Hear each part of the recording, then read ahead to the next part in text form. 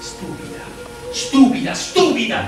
Mentire così puoi rimettere. Ma uccidermi davvero! E perché, mentendo poi? Perché farti anche quest'altro rimorso? No, non è per me, non è inteso, dice che non lo fa per me. Gliel'ho gridato in faccia, ti giuro che gliel'ho gridato in faccia ad aver mentito quando ho detto che mi uccidevo per lui. Ma se non ci crede, non vedi che non ci crede? E che posso farci io? Non glielo fa credere il rimorso che deve avere anche lui. Hai il coraggio di parlare dei rimorsi degli altri. Tu! E che credi? Che debba averne più di tutti io? Io meno di tutti ne ho. Sì? Sì. Ah, lo so, tu non lo ammetti, perché il coraggio di uccidermi io l'ho avuto, e tu no. Io? Uccidermi!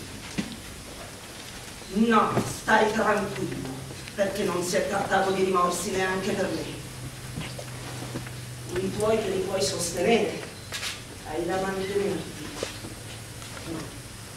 Ma io mi sono ritrovata in mezzo a una strada, nuda, io. E allora, sai, è più difficile, quasi impossibile. Ma stavi nella disperazione, quello della bambina, e dopo aver provato l'ultimo avvilimento, è per questo che potevi farlo. E non potresti fare a meno di mentire neanche a lui. Ma quasi senza volerlo, perché era pur vero che egli si era promesso a me là. Sì, per scherzo. Non è vero, ma quando anche, doppiamente vivo. Perché senza sapere nulla di quello che avvenne là, tra te e me dopo la sua partenza, lui qua si era fidanzato con un'altra e stava per sposarla. Ma tu, tu lo sapevi quello che era venuto tra te e me e hai mentito. E non era peggio quello che stava per fare lui che senza sapere nulla della mia indegnità mi tradiva qua tranquillamente sposando un'altra. Ma se questa è la prova che lui là non aveva fatto sul serio. Non è vero, lo ha detto. E non sarebbe ora così come tu stesso lo hai veduto. Tu lo dici per te, perché ti conviene supporlo, per trovargli una scusa a quello che facesti là dietro le sue spalle appena partito. Silvia. Non puoi dirmi queste cose. Silvia, Io, io non ho voluto impedire il suo matrimonio, non ho fatto tutto questo per impedire il suo matrimonio, non ci ho nemmeno pensato. L'ho detto quando credevo di dover morire, ho mentito quando ho creduto questo. non andasti a cercare. No, E come sapesti allora del suo prossimo matrimonio? ah sì, andai, andai là, al Ministero della Marina. Lo vedi se non andasti a cercare? Tu devi ringraziarmi. Di che? D'essere andata a cercare? No, che mi sembra cadere ogni tentativo di vendetta dopo aver appreso del suo prossimo matrimonio e che non era più in marina. Ma tu credi di cogliermi in fallo con un'intenzione di inganno salendo le scale di quel ministero?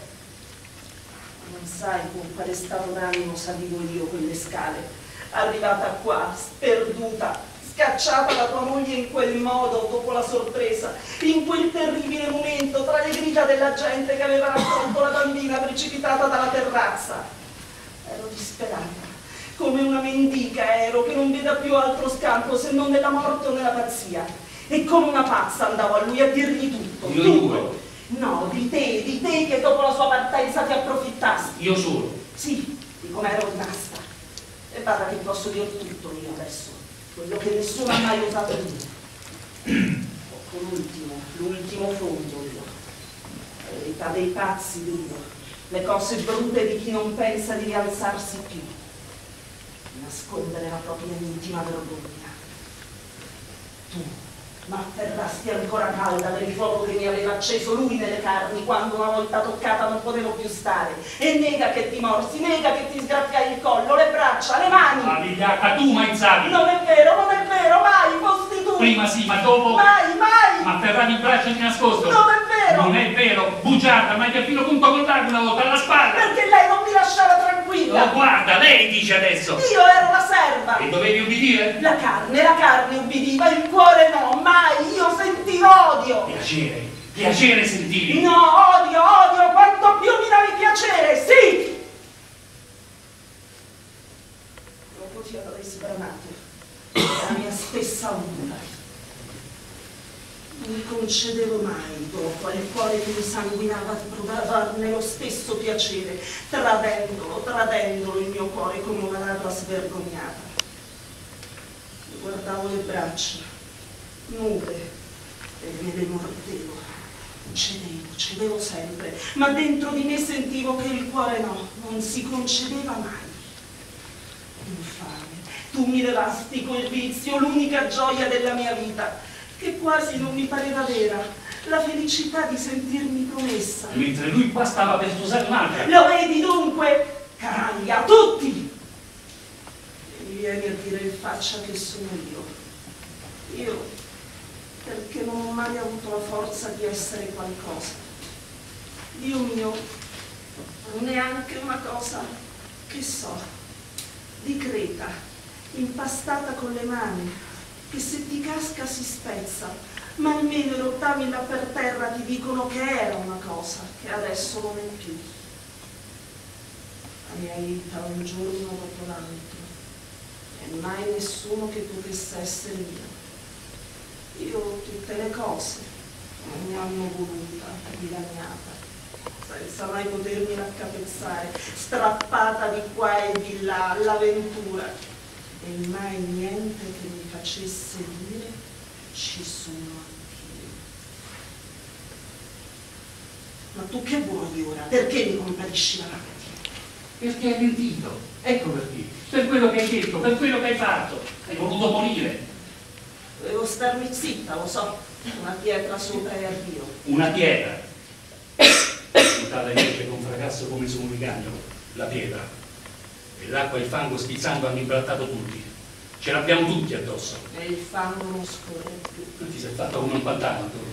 E volete che vi affoghi io sola per mettervi a scorrere voi nella vostra vita di tutti i giorni? Lui, dopo scoperta la mia vergogna con te, ritornando dalla sua fidanzata, e tu agli affari del tuo consolato. Ma tutta la mia vita, che tu maledetta hai per un momento confondendomi. Ma che credi? Io sia tutto in quella stupidaggine d'ozio d'un po' di vizio che ho speso con te e che mi doveva costare tanto? L'infelicità di tutta la mia vita. La morte della mia bambina.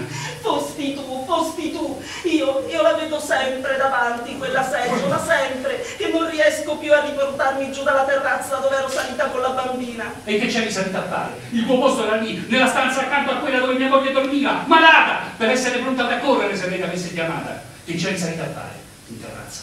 Io lavoravo, la bambina giocava. No, ci andassi apposta perché io venissi a cercarti. Non vide, tu saresti venuta a cercarmi anche nella stanza lì, accanto a tua moglie. No, no! Negalo, come se non l'avessi già fatto altre volte. E allora tanto, non sentendomi riparata neanche lì. Perché volevi anche tu? Perché volevi anche tu? No, perché avrei finito dietro le tue infami tentazioni e le tue insistenze per volerlo anch'io. Ecco, così